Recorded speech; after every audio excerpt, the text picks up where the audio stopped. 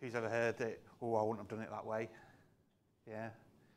Um, I just don't like it. Really constructive feedback. Nobody, nobody told me the budget, so I just picked the biggest instance. That's a good one. My favourite at the moment is, oh, I would have written it in Rust. That seems quite popular at the moment.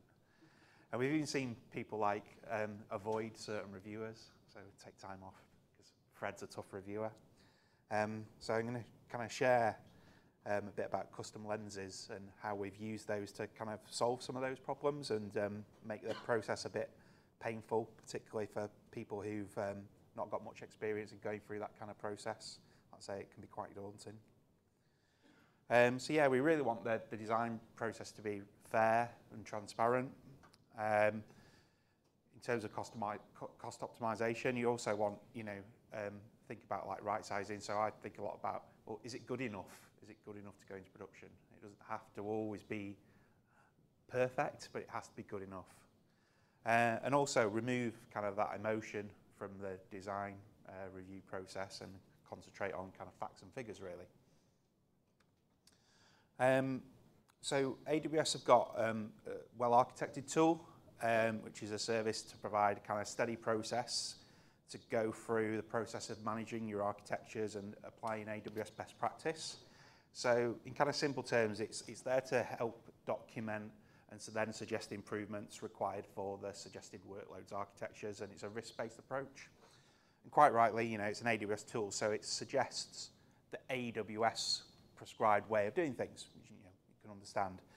But life isn't always that simple. You might have um, specific company policies that you need to adhere to. AWS don't know about those. You might have internal best practices. You might not all be all in on AWS, so we use GitLab, as you'll see in a few moments, for example. We don't use CodeCommit, and we don't use, um, we use GitLab for our CI/CD.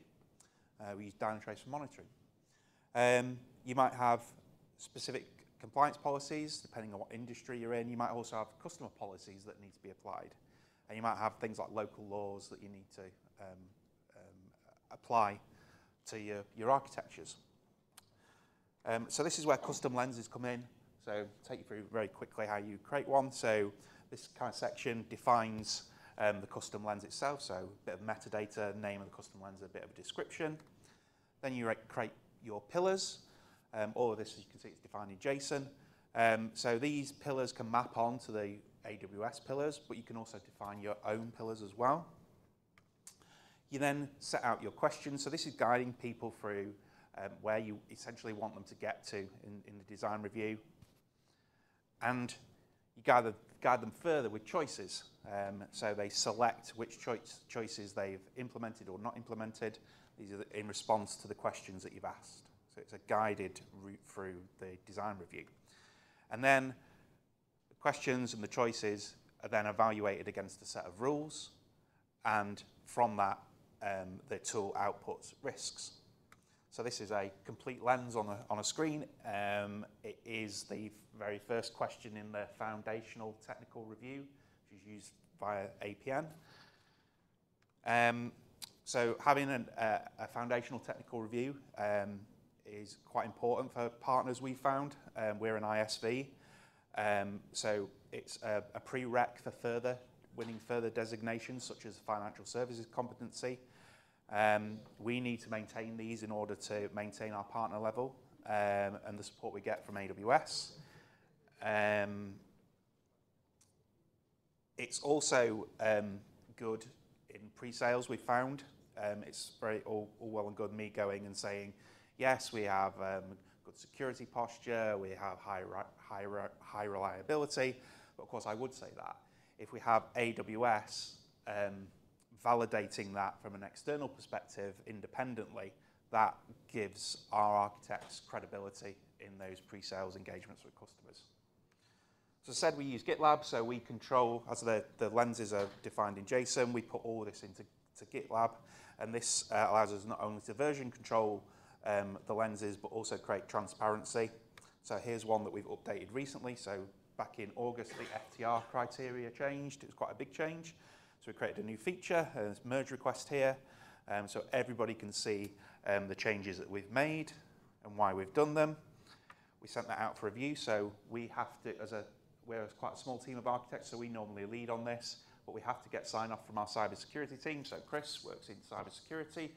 He wasn't quite happy with one of the, the, the, uh, um, the kind of default rules in FTR, so he wanted the, the condition changing and also he wanted um, some extra uh, description, adding into one of the pieces of guidance that we put into that lens. So we're happy to help Chris out. Um, so this is a short demo of that workload, uh, that uh, lens being applied to a workload.